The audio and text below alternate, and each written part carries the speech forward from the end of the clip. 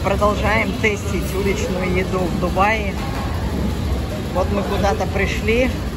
Я даже не могу вам сказать, но район Дейра, где-то внутри района Дейра, очень далеко от канала. Вот сифуд суп. Ну, Тут много всего нахреначили. 18 дирхам супчик. Сейчас будем пробовать.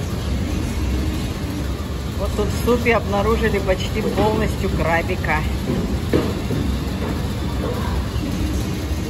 Так, вот нам принесли горячее, микс-гриль, хлеб принесли, соус и салат. Но суп реально что-то я ем, ем, ем, ем, осилить не могу.